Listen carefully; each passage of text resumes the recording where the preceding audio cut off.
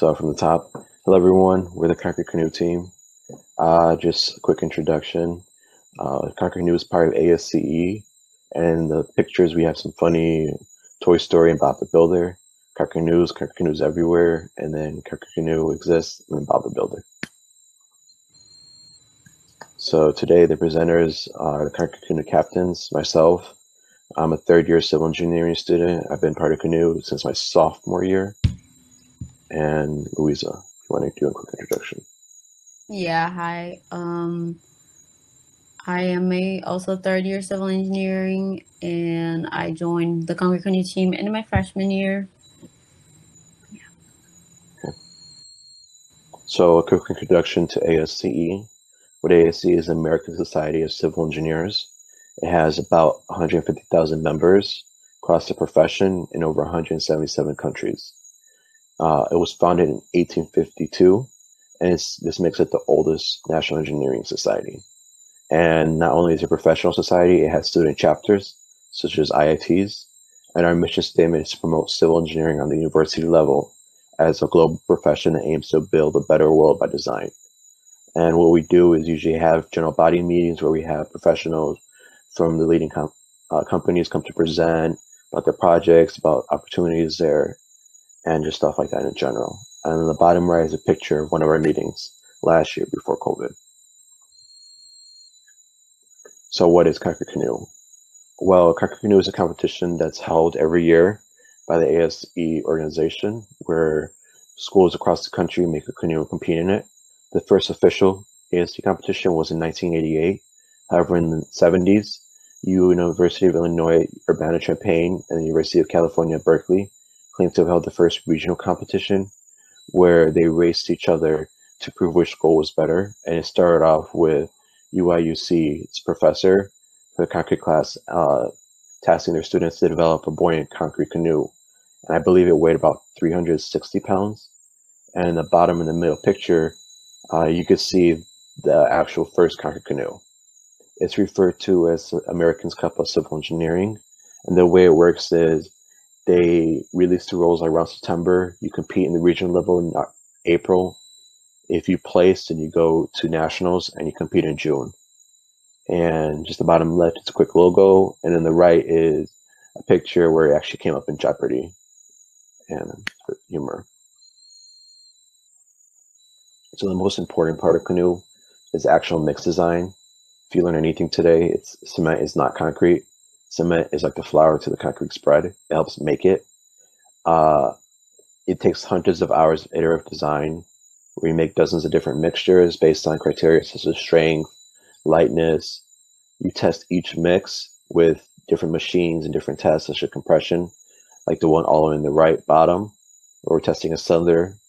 And then after you test each one, you choose the final mix design. And with it, you choose the colors, which is on the top right. You can see the different colors available that we had for the previous year.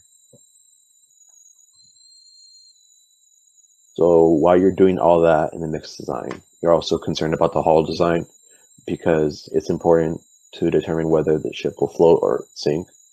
First, you research the different types of hulls and you design the best one that's best fit for your team. You design that with CAD. And in the top right, you can see our CAD file where we actually have all the dimensions, the logos on there, and all the technical stuff. After you do so, you order a mold for it, male or female. What the male is, you apply the mold, the concrete on top of it, while the female is you apply the concrete inside the mold. So on the top, the bottom left is our female mold, most recently, where it's already assembled, and that's how we apply the concrete. When you do that, you place some wooden gauges or wooden ribs to determine how thick it's going to be while you're actually placing it to ensure it's not too thick or too thin in certain areas. So after you place the concrete, you do the aesthetics. Uh, but before you have to do the aesthetics design. So when you're choosing the theme, you have to choose what designs you like to use on it. For our previous year, it was Ragnar or Ragnarok, which is closely related to Vikings. So it was shields and dragons. You would have design it first, probably on paper, then put it to CAD, which is and then we printed it out, made some molds, and then you you use that to place a concrete in it. it's quite challenging because in the previous year it was such a vertical canoe to, in some extent where it was kind of hard to place the concrete, which is why you can see in the top right us trying to learn struggle trying to make the dragon. So casting day, uh, we usually do, we did it on a Saturday from like nine to one, and then we got some pizza afterwards. On the left picture, we can see our mix captain holding the mix machine. I want to say this was like a year ago. And then in the video is us actually making the canoe. So right here, we're just preparing for it, trying to work out anything that doesn't seem to be good. Replacing the shields and the molds, testing the carbon fiber thing that we had to put in between. We broke out into several teams. We had two concrete placing teams, apples and biscuits. Apples placed the first layer of the concrete. Then we had the biscuits who placed the, can't think of the name right now, but placed the metallic sheet in between the carbon fiber reinforcements. And then placed the second layer. In the back is the other team where they're making the actual concrete mix for us.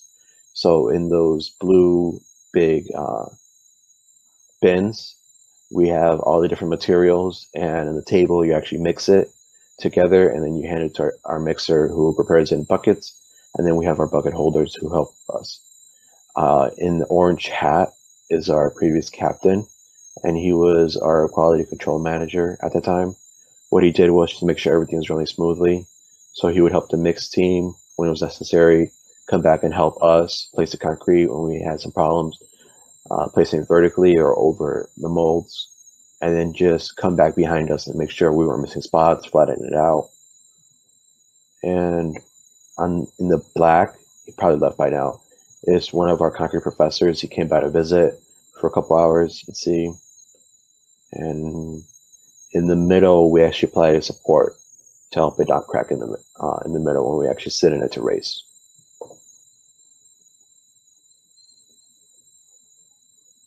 About rearing the end of the canoe.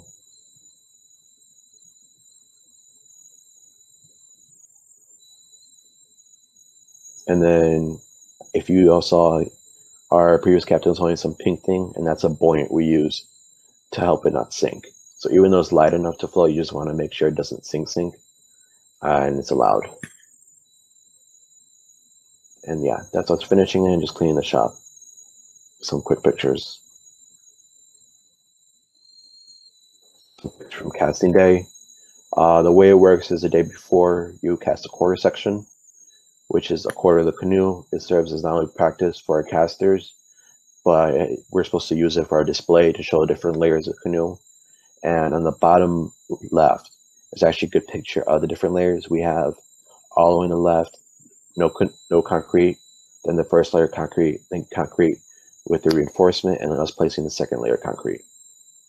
Uh, it has to be efficient to avoid cold joints. And what cold joints is, is when you're applying the concrete, you don't want to be too much distance in time between them, or else they're not going to bind together and up cracking when it dries.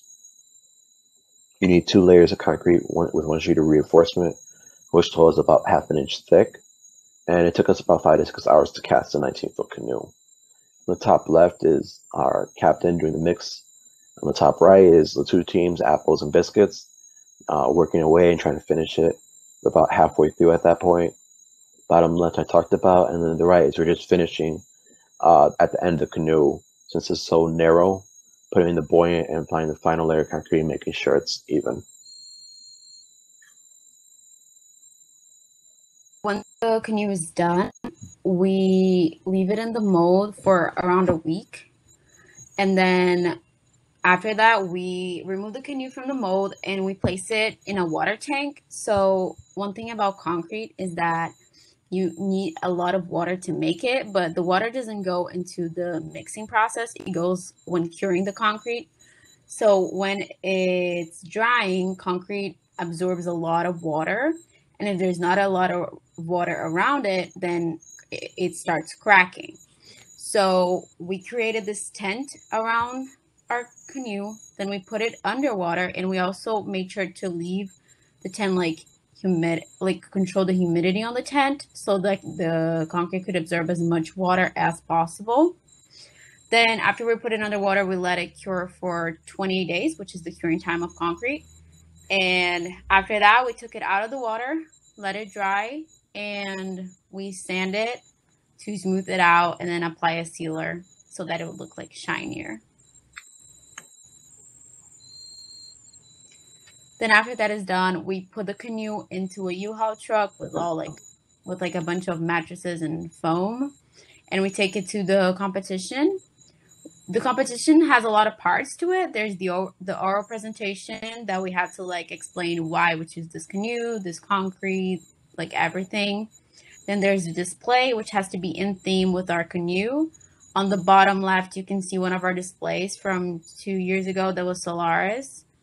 Uh, we have to display like concrete molds, like how, like all the mixtures that we use, everything, and still be on theme. Then there's the team presentation and the race, if the weather permits.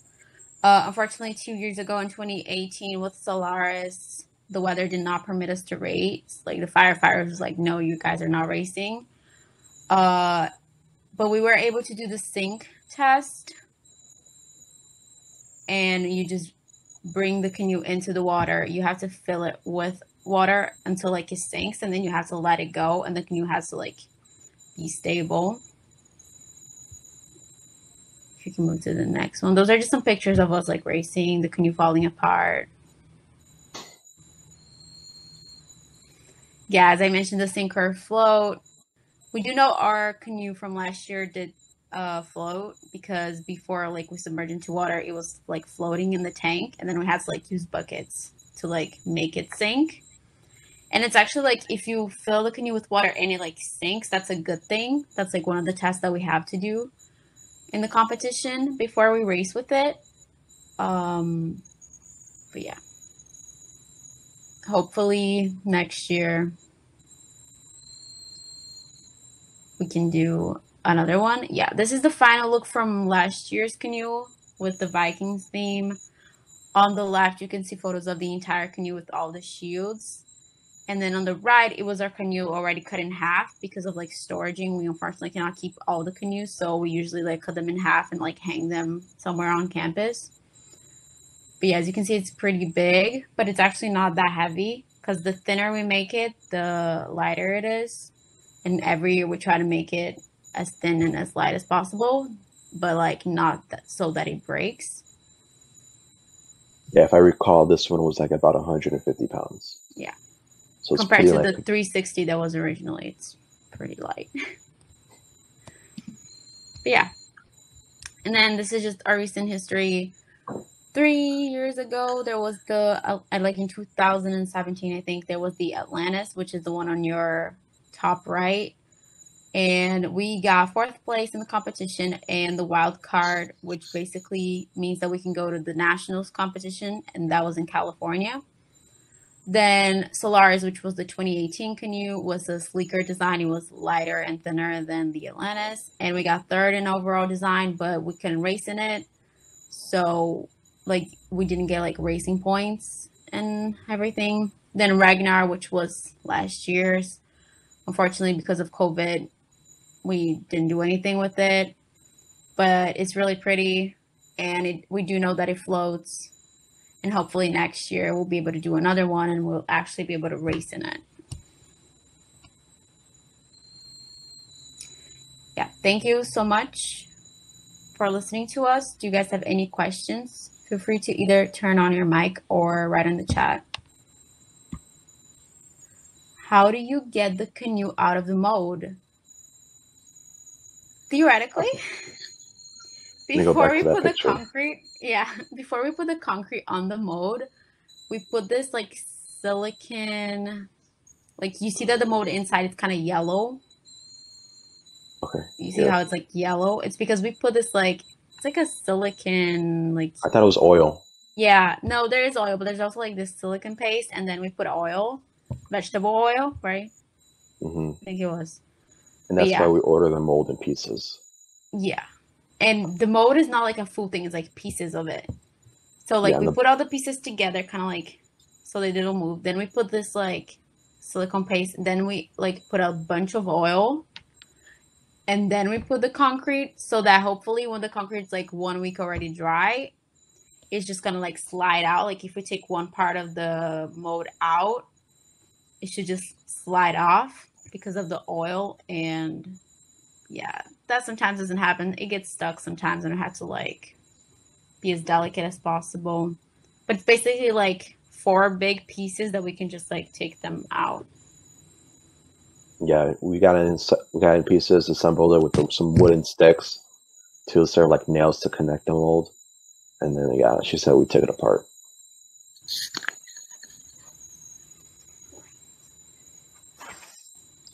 Thank you. Any other questions?